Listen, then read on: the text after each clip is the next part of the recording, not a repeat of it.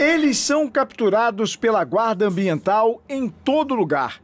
A quantidade de animais silvestres em meio a locais urbanos aumentou ainda mais com esses dias quentes da onda de calor. Por devido ter poucas né, árvores, pouco pé de fruteiras, o que acontece? Esses animais começam a entrar dentro da residência procurando um refúgio aí, sombra, água. Então, a alimentação também escasso o mesmo vai para dentro da residência para estar tá aí se alimentando. E o ser humano ainda contribui botando alimentação para esse tipo de animais, então eles sabem que dentro daquela residência eles vão ter água e comida toda hora. Então, muitas vezes eles vão e voltam e não vão querer sair daquela residência. Segundo esse biólogo, as altas temperaturas influenciam no comportamento de todas as espécies. Algumas ficam bem agitadas e passam a aparecer mais em áreas urbanas. Porque os animais eles podem ter que procurar outros lugares, porque animais, por exemplo, que são mais noturnos, às vezes eles estão no seu abrigo e está muito quente, eles vão se deslocar procurando um lugar mais fresco. Isso vai fazer com que a gente veja mais eles porque eles estão se deslocando durante o dia e gera maior probabilidade de contato. Por outro lado, alguns animais, por exemplo, como serpentes, lagartos, a temperatura do corpo desses animais está relacionada à temperatura do ambiente. Eles usam a temperatura do ambiente para regular a própria temperatura. Então, além de ter esse fator de às vezes deixar o abrigo para procurar um lugar mais fresco, esses animais também tendem a estar mais ativos durante períodos quentes.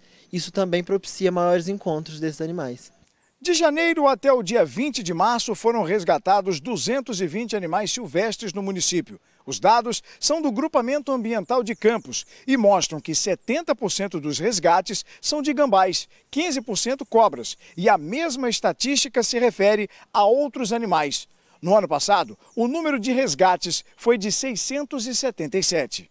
O resgate ele é feito através de ligação pelo telefone do grupamento ambiental, onde a gente pede o protocolo aí de atendimento, de documentação, de vídeo, de foto do animal, para saber onde que esse animal possa estar, para estar tá levando as ferramentas adequadas, para fazer um resgate melhor desse animal sem prejudicar esse animal.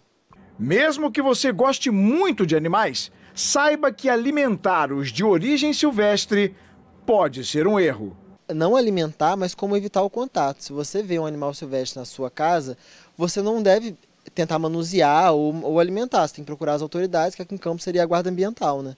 Animais silvestres são aqueles que vivem na natureza e não têm ou não deveriam ter contato com os humanos. A tentativa de domesticar pode representar um risco para a saúde dos animais. Isso é um risco muito grande, porque quando a gente pensa em animais animais, por exemplo, de companhia, cachorros. A espécie humana coevoluiu com os cachorros, então o cachorro ele é uma espécie que ele existe e habita bem com humanos. Mas quando você tem animais silvestres, são animais que muitas vezes aquele animal nasceu na natureza, ou os pais dele nasceram na natureza, e não houve um processo de domesticação. Então, esse animal ele nunca vai estar bem ajustado ao ambiente de cativeiro. E além disso, a partir do momento que o animal ele é levado para o cativeiro, ou ele, ou ele nasce em cativeiro, ele perde as habilidades ou ele não aprende as habilidades que de outra forma ele aprenderia na natureza. Então é um animal que muitas vezes não tem condição de ser reintroduzido, por exemplo, ou que dá muito trabalho para ser reintroduzido porque tem que aprender a ser um animal silvestre de novo, né?